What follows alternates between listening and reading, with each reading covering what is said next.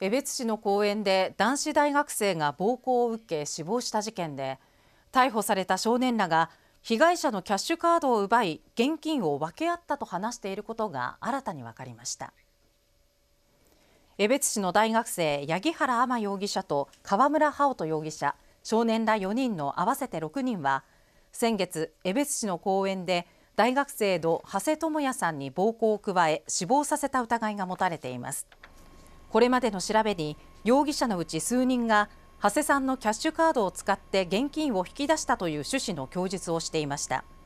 その後の捜査関係者への取材で少年らは現金を分け合ったと話し被害額は十数万円とみられることが新たに分かりました。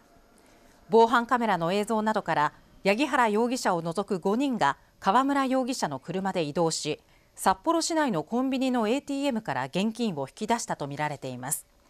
警察は容疑者らが長谷さんを暴行しながらキャッシュカードの暗証番号を聞き出した可能性があるとみていきさつを調べています。